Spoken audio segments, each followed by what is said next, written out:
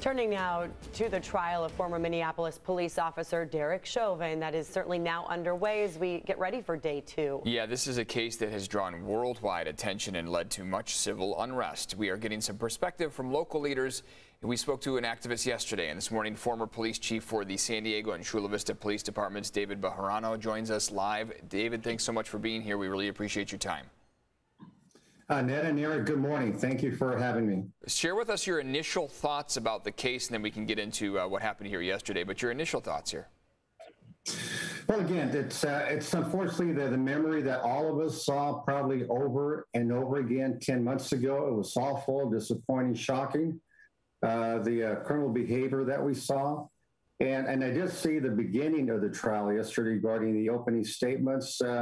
And as you mentioned, not only uh, the nation, but a good part of the world is probably watching that trial and will over the next three to four weeks. Uh, they'll be taking a look at police accountability, uh, racial justice. So, uh, uh, again, uh, law enforcement, the community will be paying a lot of attention and should be for the right reasons. Mm-hmm.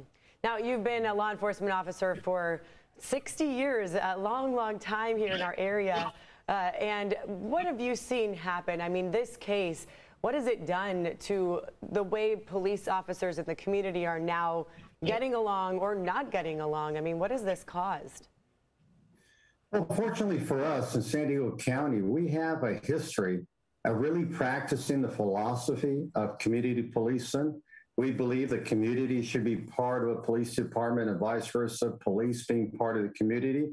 Uh, but we also understand that uh, many, many years ago, uh, we probably didn't do a good job of policing communities of color or communities. In the last year and a half, two years, I've seen a transformation, uh, reforms that I believe were needed uh, to try to close that gap, especially again between uh, police officers and communities of color. It's important to note that uh, we have a police officer, former officer, who's on trial, and that should take anything away from the, the great work that a number of police officers, almost every police officer and policing does in general.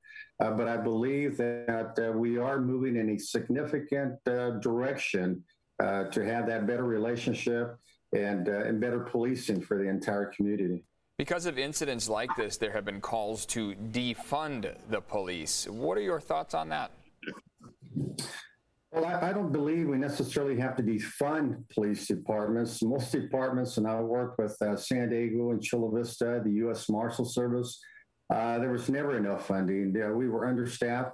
But probably what we need to do is maybe reallocate some of that money or, or put additional money in services. Uh, police officers, unfortunately, they're, they're, they're on call 24 7.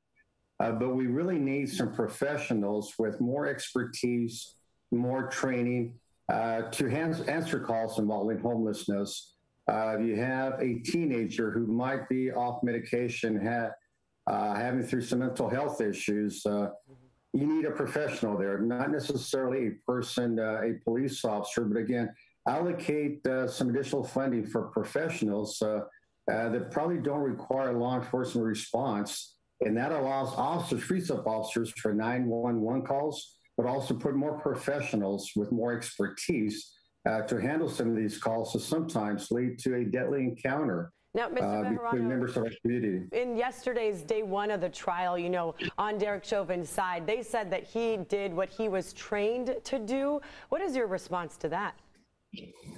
Well, their training must be quite different from uh, from what I've seen in San Diego County and during my service throughout the state as uh, my association with the California Chiefs Association. Uh, and again, that, that the video is overwhelming. I believe that evidence. Obviously, there's going to be key witnesses there to put some context to that video, but uh, it seemed like the uh, Mr. Floyd was not resisting. Uh, we've all heard it 27 times. I can't breathe. They should have they should have provided some uh, some medical attention, and for that need to be choking an individual uh, again, their training might be quite differently, but I believe a good portion of the police profession believes uh, that was not appropriate to say the least. That was criminal behavior.